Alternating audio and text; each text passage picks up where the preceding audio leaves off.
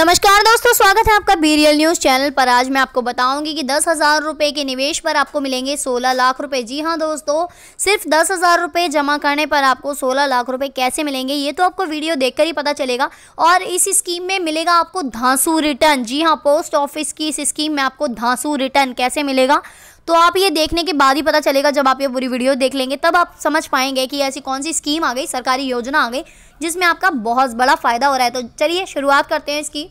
किसी भी निवेश के साथ रिस्क फैक्टर जुड़ा होता है, जिसकी जैसी रिस्क क्षमता होती है, उसी तरह के प्रोडक्ट में निवेश करता है। रिस्क बढ़ने के साथ साथ रिटर्न भी बढ़ता है।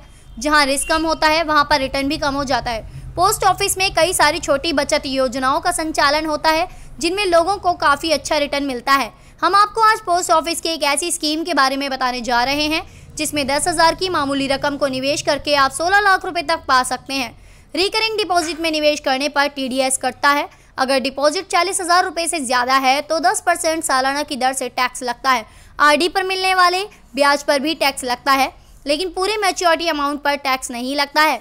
जिन निवेशकों की कोई टैक्सेबल इनकम नहीं है, वो फॉर्म पंद्रह जी भरकर टीडीएस पर छूट पा सकते हैं, जैसा कि एफडी में होता है।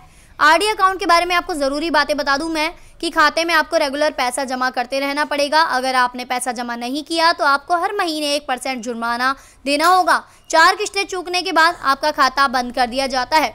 दस हज़ार रुपये हर महीने डालने पर आपको सोलह लाख रुपए मिल जाएँगे। अगर आप हर महीने पोस्ट ऑफ़िस की आरडी स्कीम में दस हज़ार रुपये दस साल तक निवेश करते हैं तो आपको दस साल बाद पाँच दशमलव आठ परसेंट की ब्याज दर पर सोलह लाख रुपए से भी ज़्यादा मिलेंगे। जानिए कितने मिलेगा ब्याज। रिकरिंग डिपॉजिट यानी कि आरडी स्कीम पर फ़िलहाल पाँच दशमलव आठ परसेंट का ब्याज मिल रहा है। यह नई दर एक अप्रैल 2020 से लागू हो गई है। भारत सरकार अपनी सभी छोटी बचत योजनाओं की ब्याज दरें हर तिमाही में तय करती है। पोस्ट ऑफ़िस आरडी पर टैक्स भी आपको बता दूँ इसके बारे में। रिकरिंग डिपॉजिट में निवेश करने पर टीडीएस करता है। अगर डिपॉजिट चालीस हज़ार रुपए से ज़्यादा है तो दस परसेंट सालाना की दर से टैक्स लगता है। आरडी पर मिलने वाले ब्याज पर भी टैक्स लगता है। लेकिन पूरे मैच्योरिटी अमाउंट पर टैक्स नहीं लगता है। जिन निवेशकों की कोई टैक्सेबल इनकम नहीं है, वो फॉर्म पंद्रह जी भरकर टीडीएस पर छूट पा सकते हैं, जैसा कि एफडी में होता है। तो कैसी लगी आपको जानकारी ज़रूर बताइएगा दोस्तों। इसी तरह की बचत योजनाओं की सरकारी जानकारी जानने के लिए जुड़े रहिएगा हमारे चैनल से। और वीडियो को लाइक करना शेयर करना चैनल को सब्सक्राइब करना बिल्कुल भी ना भूलें दोस्तों। इसी तरह की इन्फॉर्मेशन और जानकारी हम आपके लिए हर रोज लेकर आते रहेंगे। रिंग्स चॉइस चैनल पर वीडियो देखने के लिए। Thank you so much friends